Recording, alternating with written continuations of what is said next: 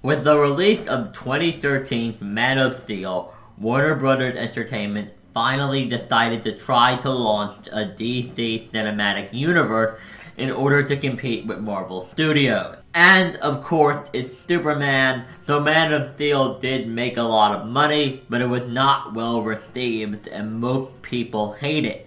And the same can be said for Batman vs. Superman, which is by some considered to be worse than Green Lantern, which is considered by many to be the worst superhero movie of the modern era. The DC Cinematic Universe has been a huge letdown, with only one movie from it being considered good, and that being Wonder Woman.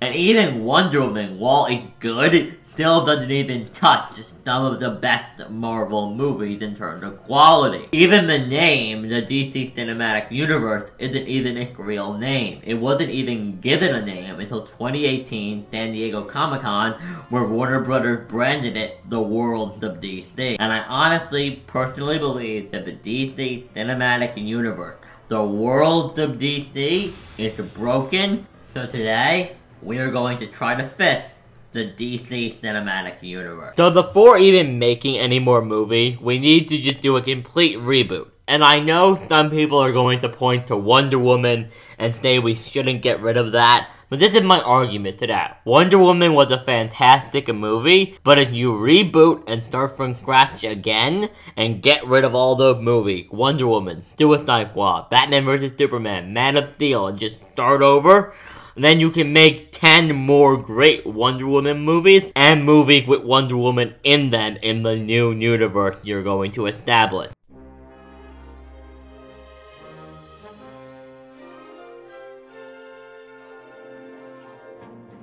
The first movie I would make, I think, should be obvious. Because unlike Marvel, who did not have some of their premier characters at the time that they launched the Marvel Cinematic Universe, DC has everything, so they might as well start with their number one character. They're going to start with a Superman movie. First of all, this would not be an origin movie, but we would do the origin because there's so many different versions of the Superman origin that we would just want to clarify what we're doing, but it would be the very basic basic origin. No nonsense with Zod or anything like that. No, very simple. Krypton is going to blow up, so you just immediately open the film with Superman parent putting him in the rocket. He takes off. Within the first 15 seconds of the movie, he has already crash landed on Earth and been adopted by the Kent, and then we just do a very quick, maybe one minute or less montage of Superman growing up. In fact, the montage could end with him putting on the costume for the first time, flying into the camera, you know, you zoom in on the S, and then you cut to the title card, and then you just cut to him arriving in like a cab in Metropolis.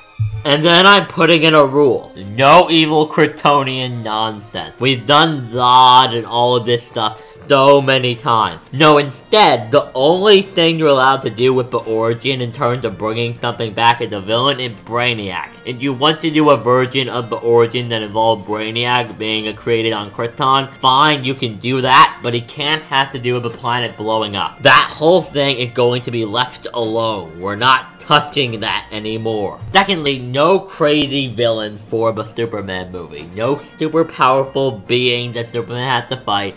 None of that. Give him a basic villain, like maybe somebody like Toyman or Metallo. The villain really doesn't matter because the point of the movie would not be to have a cool fight or make a ton of blockbuster special effects no, the point of the movie would be to establish Superman as a person and a character to the audience. Superman would not question whether or not he should save people, how he should use his abilities. He wouldn't be sad and depressed. No, he would be happy. He would help kittens out of trees. You could adapt the scene from All-Star Superman where he talks that girl out of suicide. You could literally adapt that panel for panel. Maybe have some stuff where he hangs out with little kids and like take pictures with them and play with them. You could do a lot with this character, but all you need to do is make him fun and hopeful. Because that is what Superman is. He's not dark brooding and using questionable methods. No, that's Batman. That's what Batman does. Also, Superman and Lois Lane are not allowed to get together. Superman will work in the Daily Planet. He will be Clark Kent. You can have that romance because that romance is a key part of the character. But they can't get together in the first movie. No, because there are going to be a lot of Superman movies in this universe and you can make that be a slow thing that happens throughout the movie. Kind of like the Tony Stark Pepper Potts relationship in the MCU that they've been building for like a decade. Taking our time with this movie. And in this Superman movie, there would not be any blatant references to other characters. Nothing like Superman listed in a newspaper. And you have pictures of The Flash, Batman, Wonder Woman, Aquaman, and all these characters. None of that Batman versus Superman nonsense. Now what you're going to do in this movie is you'll just have a brief, brief mention of Gotham. You won't even allude to Batman, you just mention that crime in Gotham is really, really bad. However, something Superman would do in the movie is reveal who he is to the world, not who he is like he's Clark Kent, but that his name is Kal-El Krypton and how he arrived on Earth and you wouldn't people ask the question, is there other life in the universe? Then, for the post-credit scene in the movie, you would have Wonder Woman arriving in America for the first time.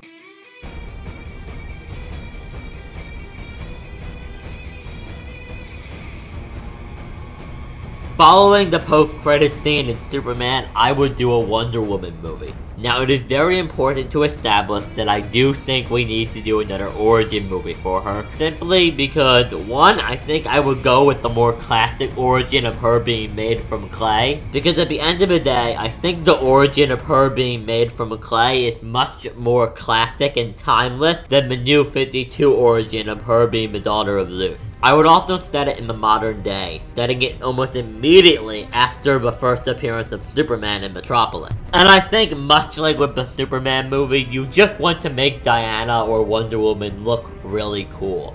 You want to make her a really fun, likable character. I think Ares could be the villain again. I really think he could because I honestly don't think Ares was very well used in the Wonder Woman movie. I think if you had them fight in a brightly lit area and gave them both more comic accurate appearances, it would be really cool. I honestly think with Wonder Woman, I would just give it to a really good director and have them make a good movie. Like, the Wonder Woman in the DC Cinematic Universe now, like the official one, is really good. So I would just try to do that again. The only thing I would really change about Wonder Woman in the movies is that I don't think her outfit is bright enough in the current movies. I think in the comics her outfit is very bright, She's supposed to be a lot like Superman. She's the bright, loving, kind character, much like Superman. And I think at this point, audiences of these movies are so used to the crazy costumes some of these superheroes wear. Like, look at Spider-Man in the MCU. Look at how bright and colorful that is. I don't think anybody would be opposed to the classic Wonder Woman look. And Patty Jenkins kind of got it for the Wonder Woman movie, but she just didn't go all the way. I don't think she went bright enough with those colors. Also, I would establish that Wonder Woman will kill people. I know they really like having characters to kill in these movies, but most of these characters don't do that. So if you have to have one character to kill people, which I know they'll want to do, just make it Wonder Woman. Make it the lady who grew up on an island of warriors who uses a sword to fight. Make it her. Also, while Wonder Woman doesn't like murder people viciously in the comics, her not killing people thing has also never been a major part of her character. Like, really, I think Wonder Woman is the simplest one, because with Wonder Woman, it's really just make a good movie about Wonder Woman and get a good actress. That's really all you need to do with her.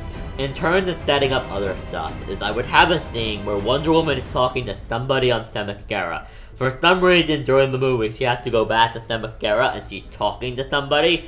And one of them brings up, had you heard about anybody else in man's world that is interesting? And Wonder Woman would mention this nice guy that she heard about in Metropolis.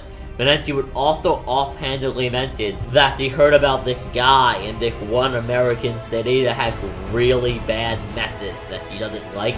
She's of course referring to Batman. We don't say it's Batman, and we don't mention Gotham because Wonder Woman not knowing what Gotham is makes sense because in the continuity she's only ever been to Man's World one time and she's only been there for like a couple weeks. She would also state that she's only heard rumors about him and she's not even sure if he's real. Some people say he is, some people say he isn't. He's almost like a myth. The post-credit thing would be a ton of criminals talking in a bar They're just talking to each other and they're whispering about the bat and whether or not he's real. The rumors that they've heard. And then somebody walks over and he starts to laugh hysterically.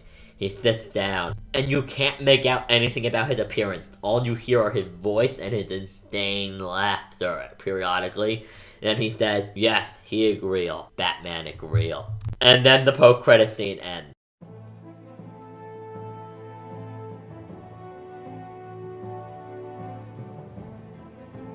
So for Flash and Aquaman, I'm going to be completely honest, I just think we need origin movies. These are not very well-known characters. I mean, people know who the Flash is from a TV show, but I do think giving the general, very general movie-going audience an introduction to the Flash to what his origin would be a good idea. And Aquaman, Aquaman, just need to make a good movie that completely destroys the idea that Aquaman can just talk to fish. You need to establish that Aquaman is really cool and that he's not just some loser who talks to fish. And these are the two movies that I feel like would only really exist to introduce the audience to these characters. As you may have noticed, I'm not going into super specific details on what I want in these movies, because I would want to give the director a lot of creative control this is just an overall broad plan that we would all follow to try to tell a tight story throughout all of these movies. But right now, we're still in the setup phase. We're still setting things up for the future, so we're not even in the parts of it where I really need to go into great detail yet. For the post-credit scene in Flash, I would just say Flash should just set up Aquaman. Have the post-credit scene that teases Aquaman. Aquaman's post-credit scene with Joe Green Lantern battling another enemy in space and getting shot at, and then cutting to blank. Throughout both movies, we would continue to tease the Gotham. We would still not mention Batman by name, we would tease the, a man in Gotham doing things, and we would tease the city being a really bad place. Leading into the part of all of this that I'm most excited to talk about, Batman.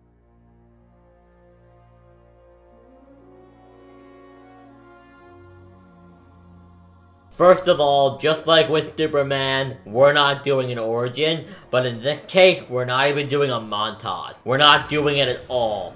Alfred can offhandedly mention the death of the Wayne, but we're not doing that. Anyone seeing a Batman movie at this point will know the origin of Batman. Also, unlike characters like Wonder Woman and Superman, Batman's origin is pretty much never changing. Like, the killer had changed a few times in the comics. Like, it's been a nameless nobody. It's been the Joker in some universes. But it's also very typically just the man known as Joe Chill. And if the origin is not mentioned at all, people are just going to assume you're going with the classic Joe Chill origin. We don't need training montages and stories about how he became- we don't need that. Let's just jump right into Batman. But we're also not doing that Batman versus Superman nonsense, where Batman had been active for like 20 years. No, instead we're going to say Batman has been active for about a year and a half. He's found his footing, he's been doing it for about a year, he has a good relationship with the Gotham City Police, and we are just going to tell a classic Batman story. There's only really one thing in this movie that we need to establish, and that is that Jim Gordon has a daughter named Barbara, and that's it. We just need to establish that Barbara Gordon exists in this universe. And then we want to focus on the type of movie we want this to be. We don't want to make this some great, awesome superhero movie about Batman saving the world or anything like that. No, this is a crime movie. It would just be something along the lines of like a murder mystery with Clayface or something. But we would want to play up the fact that Batman is really smart, that he's a detective, and we are going to play up how cool the character is.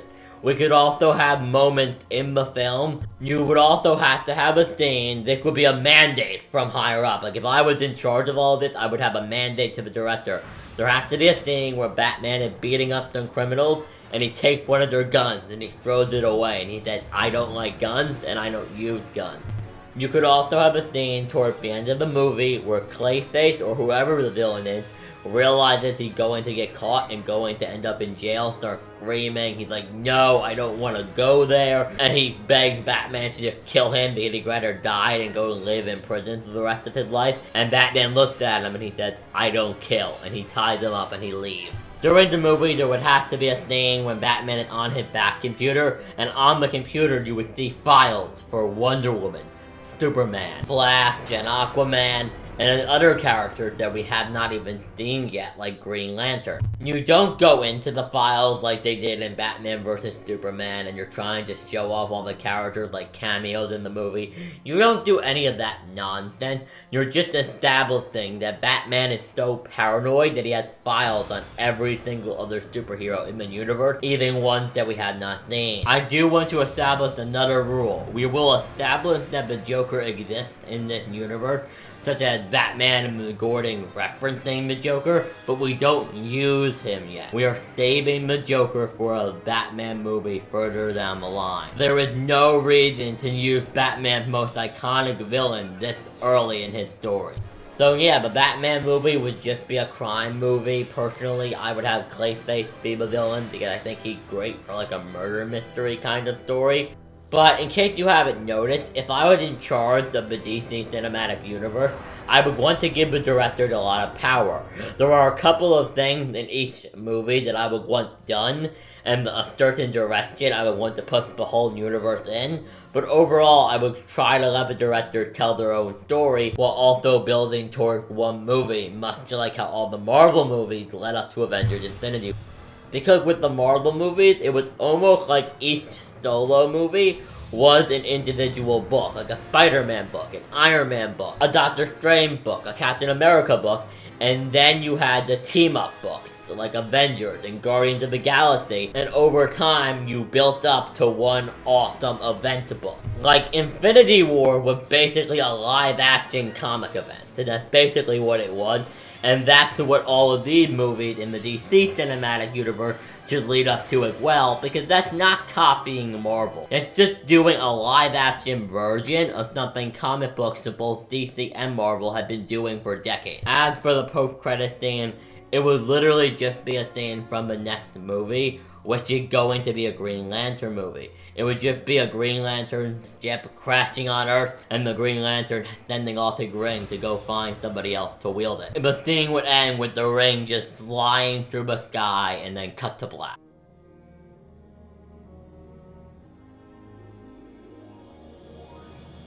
That's right, we're doing a team-up movie The Four Justice League. We are doing Batman and Superman World's Finest. That's right, we're doing a Batman-Superman team-up movie with the title being named after the old classic comic book series, Batman and Superman World's Finest. There would be a fight between Batman and Superman in this, but it would be very brief. It wouldn't even really be a fight, but more of a confrontation where they get off on the wrong foot. They fight for maybe two minutes before Batman holds up his hand and tells Superman to stop, but instead he says the name Clark, revealing he knows that Superman and Clark Kent and then they begin to talk and they work everything out. But basically, a rough idea of the plot I would have for this movie, because this would be one of those movies where I would give the director like an idea of the story I want them to tell. I would give them a basic outline that I'm about to tell you guys. Basically, Amazo has stolen all of Superman's powers and has left Metropolis and gone to Gotham, hoping to take over the city because all that's there is Batman and he has all Superman power. And even then, because Batman had never teamed up with any of the other superheroes so far, he's very unknown. Nobody even really knows that Batman is real. They're just rumored about him. So Amazo just goes there having no idea that Batman actually exists. So that's why they're in the same city, because Superman tracked Amazo to Gotham. Batman would be nothing like the Batman in the DCEU who like wants to form a team and it's all about teamwork. He would be like, Superman, screw off, get out of my city, I will deal with Amazo, I work alone. And the movie would basically be about Batman and Superman learning to get along with each other. Batman and Superman would both try to defeat Amazo on their own, but it wouldn't work, so eventually they would team up and they would defeat Amazo. Then we would have a scene of Batman and Superman standing on the rooftops of Gotham, they're talking, they like shake hands and stuff, and like Superman is like, hey, you want to get lunch or something? And Bruce Wayne is like, it's like absolutely not, no way in hell. So Superman leaves, and then the movie ends with Batman smirking, saying, he's not as bad as I thought. The post-credit scene would be a Batman on the rooftops, he had just defeated some criminals, and he looks up in the air. There's a wind is blowing, like there's a storm going on, like there's a tornado, and he looks up, and there's a light shining on him, and he says, oh my god. And then it ends. It ends right there.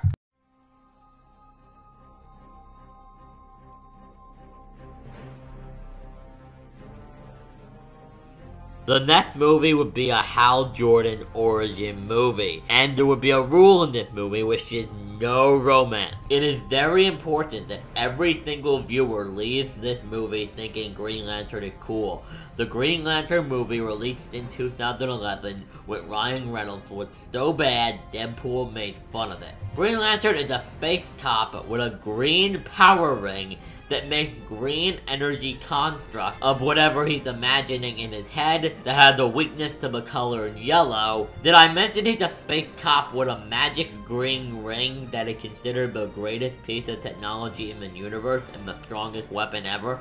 So have fun with that concept. He's a space cop. There's a lot you can do with that, and just have fun with it.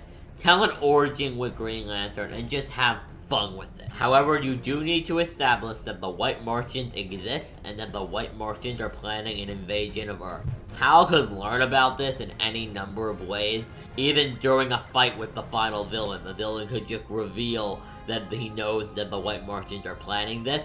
So then Hal Jordan, after defeating the villain, would go to Mars and attempt to stop the White Martians but would be defeated and it would be revealed that there's a ship that has already arrived at Earth. It's a small force, I'm not to say conquer a city, but it is there to test how strong Earth is. Green Lantern panicked, but he is quickly captured by the White Martians and taken prisoner. The post-credit scene had no talking. It's just Batman looking up at an alien spaceship that has arrived in Gotham. It is meant to very clearly be a continuation of the post-credit scene from the last movie, Batman Superman World's Finest. Now that we're done with all the solo movies and we've done a World's Finest movie, you think it would be time to do Justice League, right? Well, it isn't.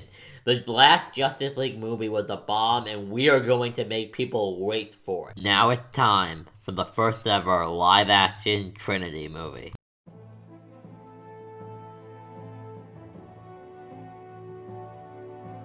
The Trinity movie, much like the Batman Superman movie, would just be Wonder Woman, Batman, and Superman coming together and trying to fight off the White Martian army. Basically, the White Martians are trying to take over Gotham and see what the defenses of the city are like, so they can try to get an idea of what the weapons on Earth are like. So Superman and Wonder Woman would arrive, and shortly after they arrive, the White Martians would do something that created like a force field around the city or something that makes it so nobody can leave or enter the city. That would be our explanation for why there were no other characters like Aquaman and Flash helping. And then it's just a fun Batman, Superman, Wonder Woman team-up movie.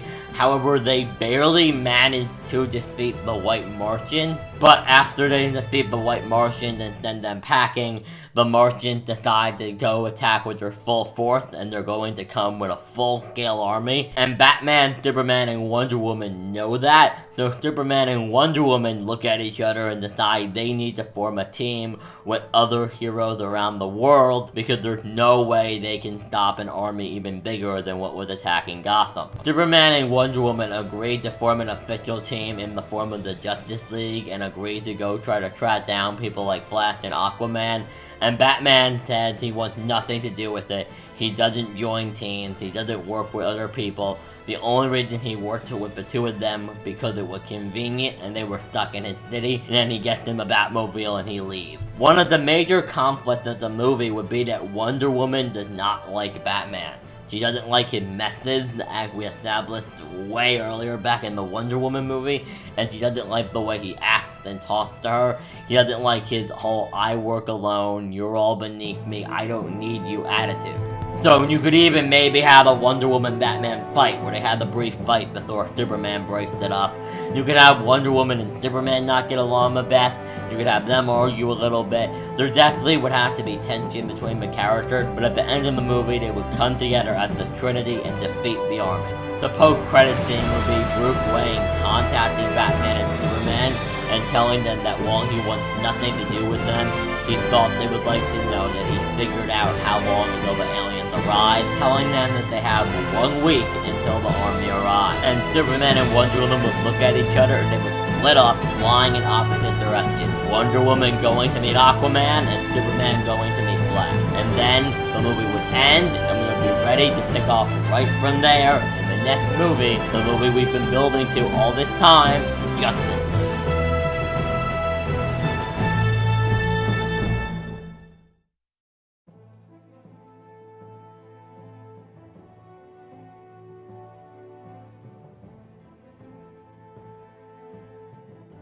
Justice League would not be about the villain. In fact, I would have the director make the villain as bland as possible. We don't want some super complex villain for Justice League. The villain should definitely not be like Thanos. We don't want him taking any spotlight away from our heroes.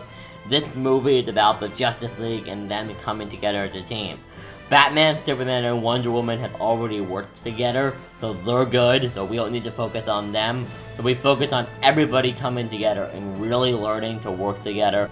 But first we need to bring in Flash and Aquaman. Now Wonder Woman should deal with Aquaman. Hands down, she's an Atlantean, she's an Amazonian, they should deal with each other. You could have a lot of interesting scenes of Aquaman being like, Oh damn, you left the island. This is bad. Or he could also say something like an Amazonian woman asking an Atlantean man for help means it's serious. Of course I'll help. Remember, these guys like being heroes and they should all be immediately interested in at least finding out what's going to happen so they can better protect the world. Superman could deal with Flash. Um, I would not make Flash as funny as he is in the original one. I did like Flash in it, but the Flash we're dealing with is Barry Allen. We're dealing with the same version of the Flash. And to be completely honest with you, that was not Barry Allen. That was obviously Wally West's personality, but just on the character of Barry Allen because of the TV show and Barry Allen being more well known right. You could even have Superman and Flash race to see how fast Flash is and all that. But basically, then everybody meets up in Metropolis after they all finally get each other to join up. They all go to Metropolis and they meet up. And somebody, maybe Flash, could just ask about Batman. And Superman could be like, he won't come. He works alone. There could be scenes of Alfred trying to convince Batman to go, and eventually, after like half the movie passing, while they're recruiting people and getting ready for the attack, Maybe you could even have the other Justice League members training. You know, that's actually a really good idea. All the other members can train together while Alfred tried to convince Batman to go. And then they all go to Metropolis. They start fighting off the alien invasion there because that's where the main mothership is. So they're fighting off the alien invasion. And then when they get into a pinch, Batman shows up and he starts giving out orders and forming a strategy. And they all work together to defeat the aliens. However, one of the alien dubs mentioned that they were actually ordered to do this by somebody else. Somebody else commissioned them to go to Earth, and they were only a test to see how powerful Earth really was.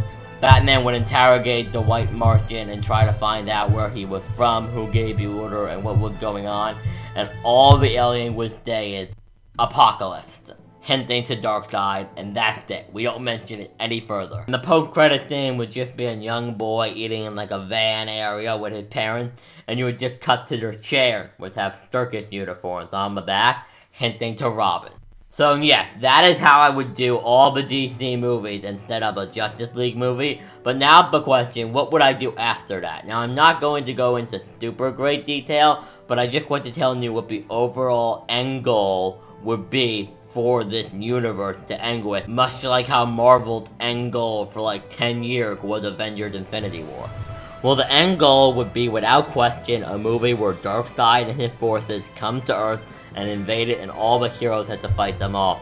Now, over the course of the next, like, 10 movies, I would do three phases, just like the MCU. So all of it we just did, that would have been phase 1. Phase 2 would have been another Green Lantern, another Superman, another Flash movie, and another Aquaman movie. Just more solo movies. However, there would not be a Batman 2. No, we would have a Batman and Robin movie that introduces Robin. And then after doing a couple more solo movies with other Justice League characters, we would do a Teen Titans movie where Robin forms the classic Teen Titans from the original TV show from the 2000s with Raven, Cyborg, Beast Boy, and Starfire. So he would form that team after the Batman and Robin movie and all the other solo movies. Then after the Teen Titans movie, we would take up a bit of a risk. We would do a Supergirl movie with Superman in it. It would just be the origin of Supergirl, her crash landing on Earth, her learning that her powers, her going to school and trying to deal with her powers, and her becoming a well-known superhero. It would kind of be like the DCEU Spider-Man Homecoming. It would be about a young hero that doesn't know what she's doing, that just arrived on this crazy new world that is surrounded by all these really powerful people, and you would establish that she may or may not be stronger than Superman, but we don't know because he's not experienced enough to ask after the Supergirl movie, you would do another Justice League movie that would just be a fun movie. Maybe they could fight Amazo again, but this time he had the powers of the entire Justice League. I'm not sure, but you could just have fun with it. This is just the movie where you get to create the bonds of the characters and make the Justice League be the Justice League. Then you would do the third wave of solo movies like a Batman 3, a Flash 3, an Aquaman 3, a Green Lantern 3. Batman 3 would introduce Batgirl, as we established way back in the Batman movie, Barbara Gordon does exist, so Batman 3 could have Batgirl in it. Batman 3 could also be the movie where we finally did the Joker. That'd be the best place, in my opinion, to do it. Go out with a bang, have the final Batman movie in the Batman trilogy be a Joker movie. You would keep doing solo movies, and then eventually you would do a Teen Titans 2, where Supergirl could join the Teen Titans. I think that would just be an interesting little thing to do, and I don't think it's ever really been done in the comics, so it would also be something new for everybody. Like, nobody had ever really seen Supergirl work together with, like, Beast Boy and Starfire. So it would be interesting for even comic book fans to see a comic-accurate version of Supergirl interact and be a member of the Teen Titans.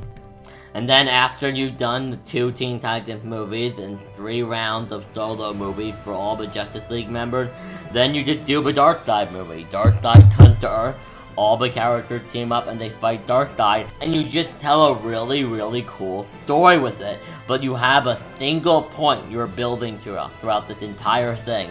The first phase of movie is just building to Justice League. But then after Justice League, you start building to Darkseid. And after that, if the franchise is successful, you have Flashpoint, which you can just adapt and use it as an excuse to change out all the actors that want to leave. And you can really continue it for another, like, decade or two. It's fantastic. And I think this is a pretty good plan. Just build everything up to Darkseid like the MCU built everything up to Thanos, because that's just building up to a major comic event. It's something comic books have been doing for decades, and I think it worked really well for Marvel, so I don't see why DC can't do it. So yeah, I know I kind of started to rush a little bit at the end, but I just wanted to just quickly skim over the overall plan from Justice League to the final movie with Darkseid, because to be completely honest, at this point I would kind of just be repeating the key points that went over with the first movies. Because basically, you're gotta make a sequel to all the movies I just described, and add on a two Teen Titans movies and a Supergirl movie. That's all you need to do, is just do sequels and introduce more characters. That's all the movies need to do, and honestly, I feel like I'd be wasting your time and mine if I went into great detail and spent another 20 minutes on each phase. So, yeah, hope you guys enjoyed the video. Tell me how you would do with DC Cinematic Universe in the comment section down below. And above all else, guys, have a great day. This is Nerd King 101.